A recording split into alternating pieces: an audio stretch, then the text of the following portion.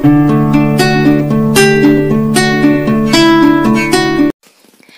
Friends healthy കിച്ചണിലേക്ക് എല്ലാവർക്കും സ്വാഗതം. ഇന്ന് ഞാൻ ഉണ്ടാക്കാൻ പോകുന്നത് ക്യാരസേവയാണ്. നാല് മണിക്ക് കടുങ്കാപ്പിയുടെയും കടുംചായയുടെയൊക്കെ കൂടെ കഴിക്കാൻ പറ്റിയ നല്ല എരിയുള്ള ക്രിസ്പി ആയിട്ടുള്ള ഒരു സ്നാക്കാണിത്.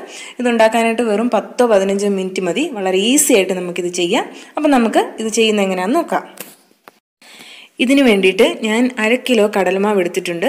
ഇതിലേക്ക് ഒരു മുക്കാൽ ടീസ്പൂൺ ഉപ്പ് ചേർത്ത് കൊടുക്കുക.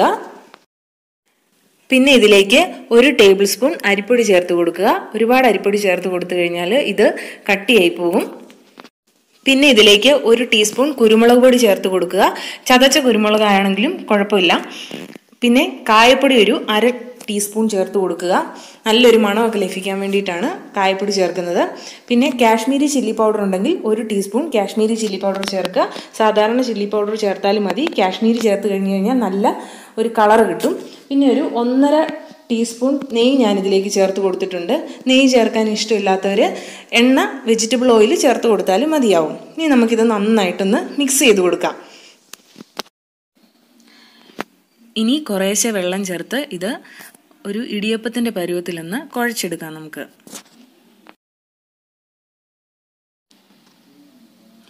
കൈ വെച്ച് നന്നായിട്ടൊന്ന് കുഴച്ചെടുക്കാം നമുക്ക്.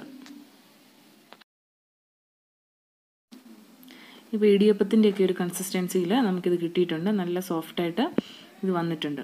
ഇതുണ്ടോ? സേവനാഴിയുടെ ഈ ചില്ലാണ് നമ്മൾ ക്യാരസേവ ഉണ്ടാക്കാനായിട്ട് ഉപയോഗിക്കുന്നത്. ഇനി കുറേശ്ശെ മാവ് നമുക്ക് സേവനാഴിയിലേക്ക് ഇട്ട് കൊടുക്കാം.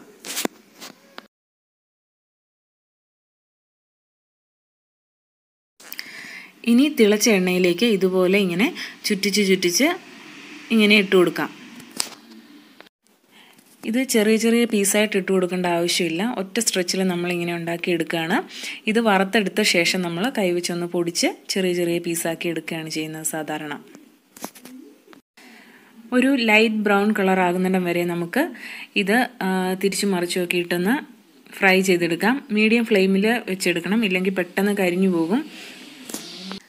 ഇപ്പോൾ ഇത് ഏകദേശം റെഡിയായി വന്നിട്ടുണ്ട്. ഇപ്പോൾ തന്നെ ഇതിങ്ങനെ പൊട്ടി വരുന്നുണ്ട്. നമുക്ക് എണ്ണയിൽ നിന്ന് കോരിയതിന് ശേഷം ജസ്റ്റ് ഒന്ന് പൊടിച്ചെടുത്തു കഴിഞ്ഞാൽ ഇത് കറക്റ്റ് ഷേപ്പിൽ കിട്ടും. അപ്പോൾ നമുക്കിത് ഒരു പാത്രത്തിലേക്ക് കോരി മാറ്റി വയ്ക്കാം അപ്പം നമ്മുടെ ക്യാരസേവ് ഇവിടെ റെഡി ആയിട്ടുണ്ട്. വളരെ ടേസ്റ്റിയും ക്രിസ്പിയും നല്ല സ്പൈസി ആയിട്ടുള്ളൊരു സ്നാക്കാണിത് വളരെ ഈസി ആയിട്ട് ഉണ്ടാക്കിയെടുക്കാം. എല്ലാവരും ട്രൈ ചെയ്യുക. വീഡിയോ ഇഷ്ടപ്പെട്ടെങ്കിൽ ലൈക്ക് ചെയ്യുക സബ്സ്ക്രൈബ് ചെയ്യുക സപ്പോർട്ട് ചെയ്യുക. അപ്പോൾ അടുത്തൊരു വീഡിയോ ആയിട്ട് കാണുന്നുണ്ടവരെ എല്ലാവർക്കും ഗുഡ് ബൈ